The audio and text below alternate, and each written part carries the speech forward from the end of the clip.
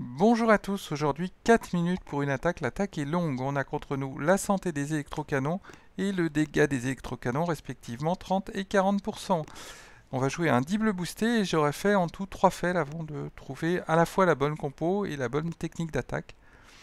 Euh, donc la bonne compo ça va être full tank et euh, on va regarder tout de suite la bonne attaque 116% de dégâts des troupes, 70% de santé, 116% de canonnière. Et contre nous, on a un double boosté avec euh, particularité 6 statuts de dégâts des bâtiments que vous voyez ici. Donc beaucoup de dégâts des bâtiments. Je décide de bombarder euh, l'électrobombe euh, pour essayer de tout simplement qu'il ne me frise pas, qu'il ne me ralentisse pas dans, mon attaque. Et je débarque ici mes tanks en escalier pour que tout simplement tout de suite à la sortie de la plage, il soit tout de suite à l'attaque. L'autre option, ça serait d'utiliser des fumis. Mais le problème, c'est que ça coûte plus de points de canonnière, les fumis. Et euh, j'ai préféré débarquer comme ça. Voilà, le héros n'est pas encore à de l'électro-canon, mais dès qu'il est à portée, on frise l'électro-canon. C'est ce qu'on vient de faire. En plus, on peut friser deux super canons, donc ça, c'est un plus. Et on va avancer comme ça le plus longtemps possible. On va envoyer un deuxième freeze pour friser à nouveau l'électro-canon et les deux super canons. Les tanks sont un petit peu en train de se disperser petit à petit. On envoie un troisième freeze ici. Contre encore euh, l'électro-canon. Le héros est en train complètement de partir euh, côté, euh, droit. Ici j'aurais la possibilité de friser l'électro-bombe, l'électro-canon pardon, mais j'ai décidé de ne pas le faire. L'idée c'est de contre un petit peu de, de, perte de vie des tanks, de, de conserver des points de canonnière. Les frises coûtent cher à ce moment de, la partie, j'en avais déjà utilisé 3. Voilà, Bullet et les tanks sont en train de se replacer côté droit.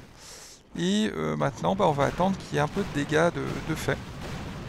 Comme Bullet prend tous les, tous les coups, c'est pas très grave que le tank n'ait plus trop de, trop de vie. Et ici, je fais sans doute une petite erreur en ne me replaçant pas tout de suite côté droit. Vous voyez ici la portée du super canon qui est en bas que je vous ai mis. Bah, il est en train de faire beaucoup de mal à, mes tanks. La mitrailleuse aussi fait du mal à mes tanks. Ici, et sans doute une petite erreur de ne pas avoir repositionné tout de suite mes troupes sur la droite. Mais je finis par le faire en redonnant de la vie au héros pour qu'il se replace plus vite. On envoie un petit jeu de bestiole ici pour essayer de limiter un petit peu le dégât sur le héros. Des tirs... Euh, de, canon et de super canon sur le héros. A noter que ce qui fait surtout du mal au héros ici, c'est les tirs de lance-roquettes. Puisqu'en fait, chaque roquette enlève aux alentours de 1000 de vie au héros. Donc ça, ça fait... Euh, le lance-roquette fait beaucoup plus de mal ici que le, super canon à cause ou grâce aux 6 statuts euh, de défense des bâtiments, de dégâts des bâtiments de mon adversaire. Ici, on, on commence à être bien positionné. Les tanks tapent le, le QG.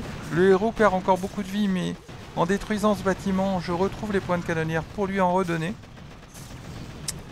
Et euh, l'électro-bombe ne frise que le héros, ça c'est très bien. Je vous ai mis la portée du super canon. Euh, les tanks sont hors de sa portée. Je, euh, ici, je suis, j'ai la possibilité d'envoyer un medikit au niveau des points de canot, mais j'ai décidé d'attendre que le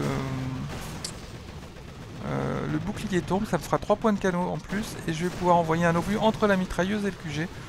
J'ai considéré que c'était plus intéressant qu'un medikit.